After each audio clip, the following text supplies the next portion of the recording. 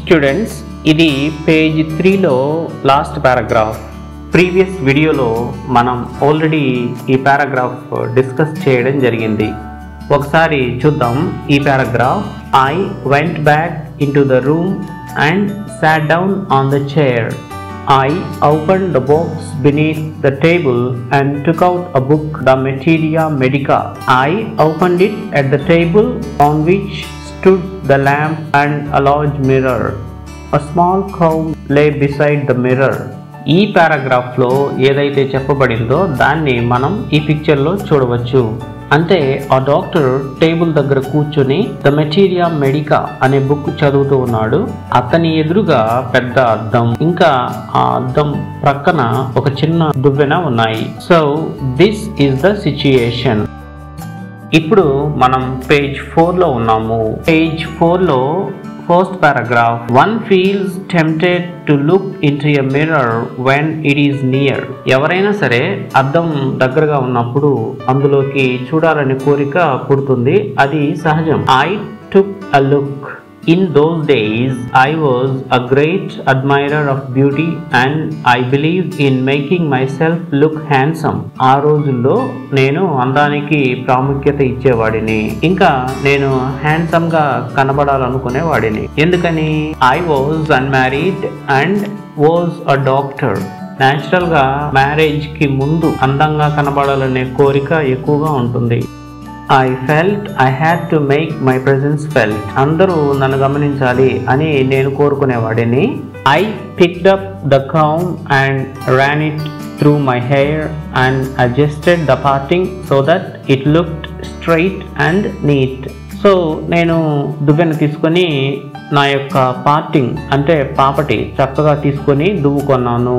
Again I heard that sound from above next paragraph I took a close look at my face in the mirror.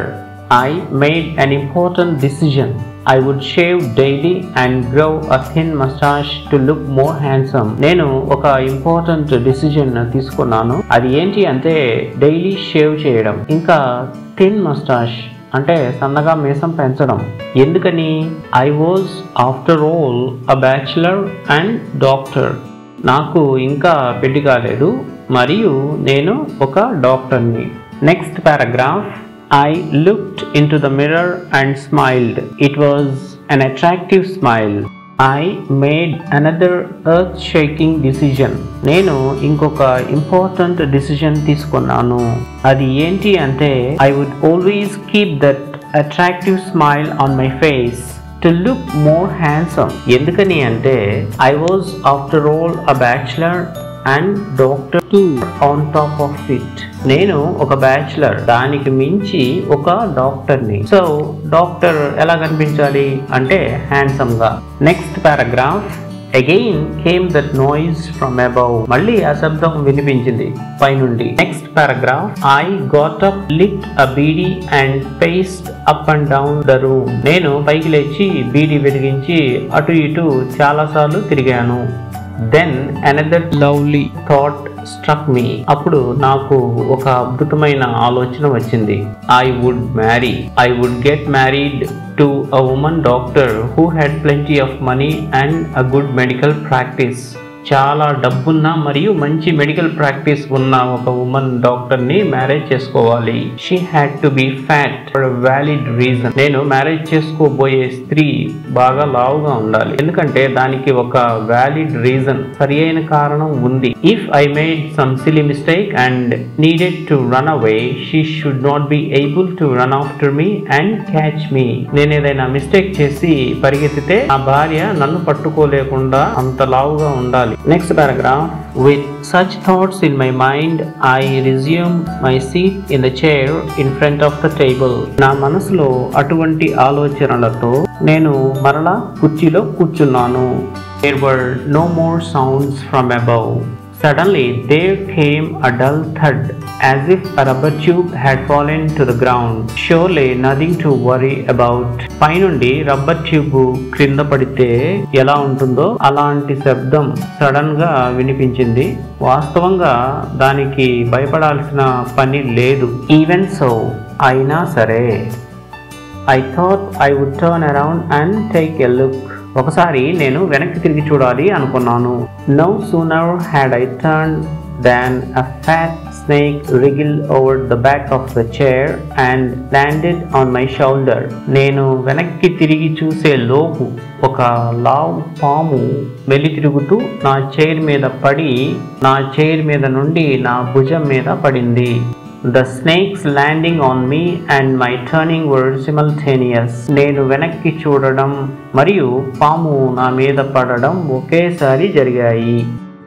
ఇప్పుడు మనం page ఫైవ్లోకి వచ్చాం. Page ఫైవ్లో first paragraph I didn't jump నేను ఎగరలేదు. I didn't tremble నేను వణకలేదు. I didn't cry out నేను అరవలేదు. There was no time to do any such thing అటువంటి ఏ పని చేయడానికి టైం లేదు. The snake slithered along my shoulder and coiled around my left arm above the elbow. ఆ పాము నా భుజం వెంబడి ప్రాకుతూ నా మోచేయి పైన చుట్టుకుంది The hood was spread out and its head was hardly 3 or 4 inches from my face. పాము పడగ విప్పింది దాని పడగ నా ముఖానికి మూడు లేక నాలుగు అంగుళాల దూరంలో మాత్రమే ఉంది next paragraph it would not be correct to say merely that I sat there holding my breath అప్పుడు నేను ఊపిరి బిగబట్టి కూర్చున్నాను అని చెప్తే అది కరెక్ట్ కాదు. I was turn to stone నేను రాయిలా మారిపోయాను. But my mind was very active కానీ నా మైండ్ మాత్రం బాగా యాక్టివ్గా ఉంది. The door open into darkness door బయట చీకటిగా ఉంది. The room was surrounded by darkness నా రూమ్ చుట్టూ చీకటి ఉంది. In the light of the lamp I sat there like a stone image in the flesh ఆ దీపం వెలుగులో నేను మాంసంతో కూడిన రాతి బొమ్మలా బిగుసుకుపోయాను. Next paragraph I felt then the great presence of the creator of this world and this universe అప్పుడు నాకు సృష్టికర్త ఎవరైతే ఈ ప్రపంచాన్ని మరియు ఈ విశ్వాన్ని సృష్టించారో ఆ సృష్టికర్త అంటే దేవుడు గుర్తొచ్చాడు. అంటే నేను దేవుడిని తలుచుకున్నాను. Suppose I said something and he did not like it I tried in my imagination to write in bright letters outside my little heart the words O God అంటే నేను ఏదో చెప్పాను అది దేవుడికి నచ్చి ఉండకపోవచ్చు. ఓ దేవుడా అని గట్టిగా తలుచుకున్నాను. Next paragraph there was some pain in my left arm అంతలో నా ఎడమ చెయ్యి నొప్పిగా అనిపించింది. ఇట్ వాజ్ యాజ్ ఇఫ్ ఎలాగంటే థిక్ లెడెన్ రాడ్ ఒక సీసపు కడ్డీ. Now a rod made of molten fire మంటలో కరిగించి పోత పోసిన ఒక కడ్డీతో కాల్చితే లేదా కొడితే ఎలా ఉంటుందో అంత నొప్పి అనిపించింది. Was slowly but powerfully crushing my arm ఏదో నా చేతిని నలిపేస్తున్నట్లుగా అనిపించింది. The arm was beginning to be drained of all strength నా చెయ్యి ఎండిపోతున్నట్లుగా ఉంది. What could I do next paragraph at my slightest movement the snake would strike me నేను కొంచెం కదిలిన పాము నన్ను కాటేస్తుంది. Death lurked four inches away suppose it struck what was the medicine I had to take ఒకవేళ పాము కరిస్తే ఏ medicine తీసుకోవాలి? There were no medicines in the room రూమ్లో medicines ఏమీ లేవు.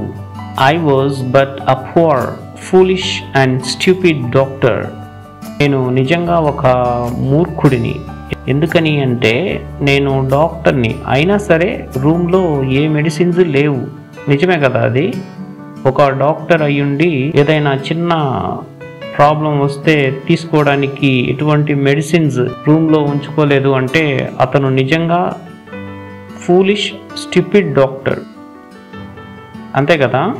I forgot my danger and smiled feebly at myself ఇక నేను రాబోతున్న డేంజర్ని మర్చిపోయి బలహీనంగా అంటే నిస్సహాయంగా నవ్వుకున్నాను. ఎందుకని? పాము కరిస్తే తీసుకోవడానికి మెడిసిన్స్ లేవు. కానీ ఇతను డాక్టర్ ఏం జరిగినా సరే అతను ఏమీ చేయలేని పరిస్థితిలో ఉన్నాడు. నా మీద నేనే జాలిపడి నన్ను చూసి నేనే నవ్వుకుంటున్నాను.